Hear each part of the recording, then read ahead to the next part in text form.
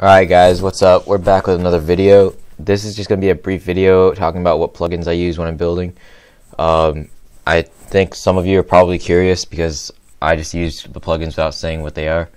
Uh, the first one is the most important one that I always use. I've been using it ever since like I first found out about it. And that's uh, F3X. I'll put a link to all of these in the description. But um, I'm just, you know, I just don't want to edit like the little thing into into the actual video. So I'll just talk about them and put the links to them in the description. But this is my basic building tool. I like it because it has all these hotkeys and it tells you what the hotkeys are. And on top of that, it just looks it just looks nice compared to I mean a lot of other people like the Studio Build Suite. Um, that's a good, pretty good plugin too. It's pretty close to Command uh, Utility or CMD, I think UTL something like that.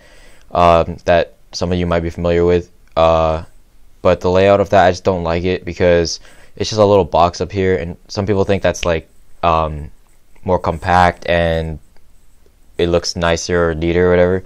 But I just like having like this looks kind of futuristic, and if you hover over it, I mean, it doesn't really help me anymore. But when I was starting out, this one was definitely a lot more helpful because it explains what all the tools do, all the little hotkeys and stuff that you can press, and I just liked it a lot, a lot more.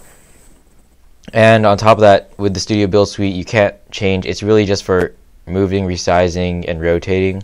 You can't change like the colors and the uh, the surface and all that stuff, like the uh, can collide here with hotkeys, and you can't do it like with the actual plugin. With Studio Build Suite, you have to go into the studio and adjust it there.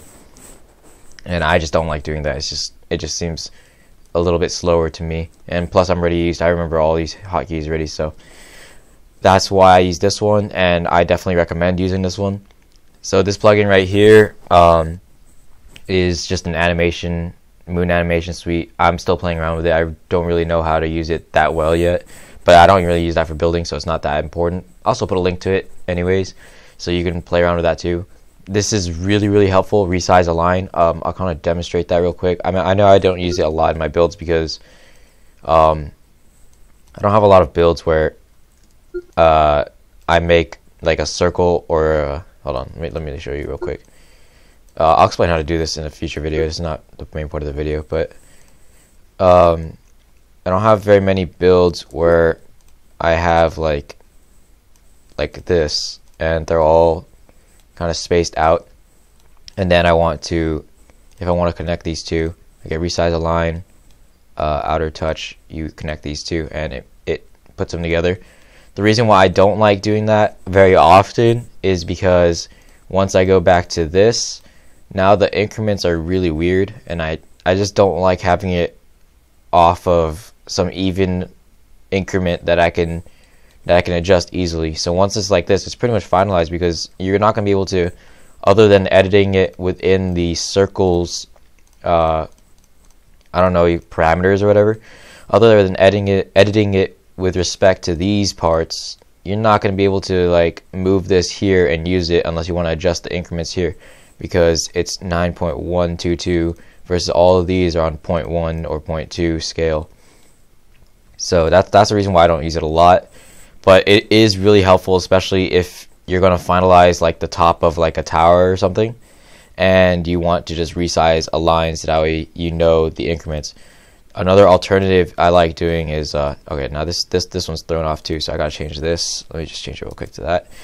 And the one that I find is easier to do, although you get a little bit less control, is I just, I mean, I, I explained this in a different video, but now I can pretty much do the same thing with while keeping the increments that I like. But yeah, that that's pretty much that plugin. Uh, resize align. Um, there's a bunch of other uh, settings here that you can just test. The one you're going to be using the most is outer touch. Um, I like having this, the adjust a celestial body dragger. It just adjusts where the moon and the sun will be. This is just really helpful for just changing the lighting really easily instead of having to go into here and then be like uh, where is it? Geographical latitude. You got to change that and play around with it to know where you want to put the sun. But I like doing doing this one because I don't know if you've seen the guns I've been building on on Twitter or at least before. Um, I always have like a really good lighting on the gun. That's because once I put the gun out here, I can just move the sun to wherever I want, and if it looks good, then I just take that picture, take that screenshot. Um, the other one is good for is like for here, if I want to see what this looks like at night versus what it looks like on a sunset, maybe with the sun going this way. But yeah, I really like this. This is probably the second most used tool that I have or plugin that I have because just because it's it's so helpful.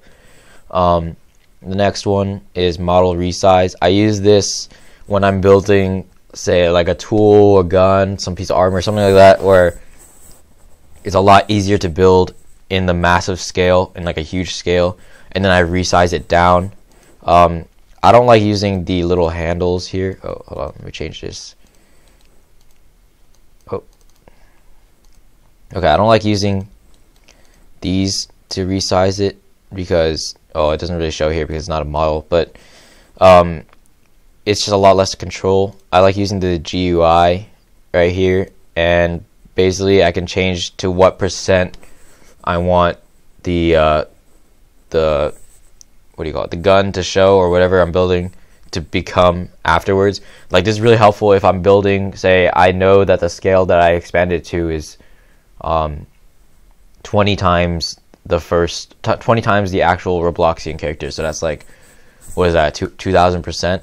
Then I can shrink this down to whatever whatever the uh, percent that is 100 to 2000 uh, what is that like 1 out of 20 so I can shrink this down to 120th of 100% what is that 5 my, my math is kind of slow right now. I can shrink it down to 5% and then I get the size that I want right away versus having to guess and keep adjusting it over and over again. Uh, I'll make a whole video about that. It's kind of hard to explain like a short little video but anyways the next plugin is Oozle Draw. This just draws um, a curve. I like using this for wires, for fences, anything that's hanging. I always switch it to one little tip. If you're trying to make something that's hanging and make it look like it's hanging, like in the real world, you want to change it to hyperbolic cosine. I, I mean, I don't really know the math behind it, but I just know that that's the formula or the equation for everything that hangs in the world. Uh, you can Google that. It's like, it's it's not a super well known fact, but it's just it's something that you should know. Um, then you can just play around with the number of segments to make it a smoother line. Here, let me change this to five. You got a little bit rougher because it's only five parts. Preview, true, all that stuff. You can play around with this too. And the thing that's kind of cool with it is it puts it into a model, so it's easy to uh, adjust or easy to move around. Um, that's actually bringing. Let me bring it back to the uh, this the building tool F3X. Um, that's the one thing I hope if the F3X uh, creator sees this, I hope he adds the feature where you can select a model that's like a model that's in Roblox Studio. Like if I group these together, I can't select that with F3X, which kind of sucks. You can do it with uh, Studio Build Suite, but not with F3X. I have to go switch to the other tool. The good news is I don't really use models that much, unless I'm using a gun. But if I'm ready if I already finished the gun, I'm not going to be editing it with this anyways. So there's not a lot of situations where I actually use the model, uh, a studio model, but still, it would just be nice to have for those few occasions. But anyways, that's the end of this video. This, I, like I said, this is just a short video to explain uh, the plugins that I use. I don't use a whole lot, so as you can see. So yeah, uh, thanks for watching. Leave a like, subscribe, um, leave comments for suggestions of plugins that I should use. And yeah, thanks for watching. Peace.